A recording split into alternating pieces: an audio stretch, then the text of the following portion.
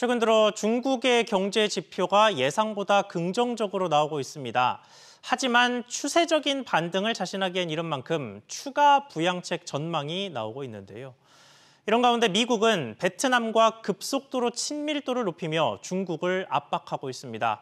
글로벌 소식들 취재 기자 연결해서 들어보겠습니다. 안지혜 기자. 네, 안지혜입니다. 네, 먼저 중국의 경기 지표가 선방하는 모습이라고요. 네, 대표적으로 대출과 물가입니다. 블룸버그 등 외신에 따르면 지난달 중국의 사회 융자 증가액이 시장 전망을 60조 원 이상 웃돌았습니다.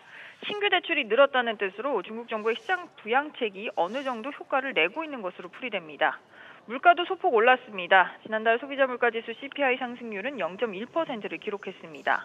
전달인 7월 CPI가 1년 전보다 0.3% 하락하면서 디플레이션 경고음이 나왔던 것과 비교하면 선방했습니다. 다만 아직 중국 부동산 시장의 안정화를 말하기에는 부족한 만큼 금리 인하 또 부동산 시장 지원 등 추가 부양책이 나올 가능성도 배제할 수는 없다는 게 시장의 분석입니다.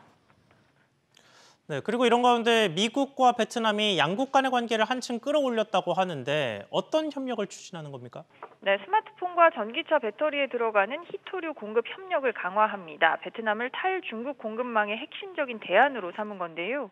양국 관계를 가장 높은 단계인 포괄적 전략 동반, 동반자까지 끌어올린 만큼 마이크로소프트나 엔비디아 등 미국의 대표적인 기업들도 베트남에 대한 투자를 늘리기로 했습니다.